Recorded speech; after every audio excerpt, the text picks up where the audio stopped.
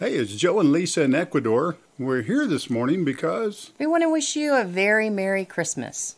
yes, and we uh, hope that you have many blessings of prosperity, Peace, love, happiness, and joy in our Lord Jesus Christ. Feliz Navidad. Feliz Navidad.